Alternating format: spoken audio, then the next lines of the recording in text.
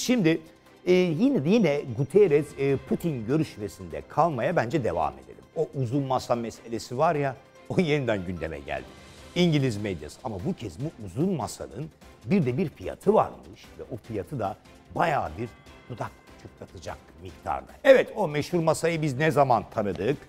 Ee, savaştan önce yaklaşık iki buçuk ay önce e, bu masada e, Macron ağırlanmıştı Putin tarafından. Macron burada oturuyordu, Putin de karşısında oturuyordu. Bu çok konuşuldu. Putin'e inanılmaz mesafeli davrandı. Ee, e, daha doğrusu Macron'a çok mesafeli davrandı Putin. Çok soğuktu. Bu masada e, bayağı bir tartışılmıştı. Daha sonra birçok lider hatta kendi bakanlarını bile bu masada ağırladı yine Putin. Karşılarına oturttu böyle uzak mesafesinde bayağı bir. Şimdi e, Guterres vardı dünkü toplantıda. Guterres yine burada masanın bir ucunda, diğer ucunda da Putin. Şimdi buna artık alıştık. Bunun esprisi yok.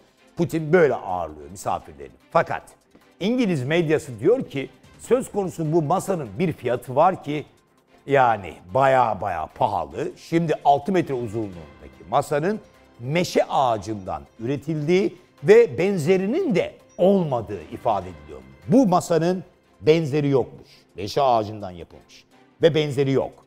Ve aynı zamanda masanın değeri Türk parasıyla 1 milyon 570 bin TL. Yani 106 bin dolarmış. 106 bin dolar. Meşe ağacından yapılmış Putin'in masası ve bir eşi benzeri yok. Sadece bu Kremlin'de var. Putin bu masada konuklarını ağırlıyor ve İngiliz basını da bize fiyatını bu şekilde anlatıyor.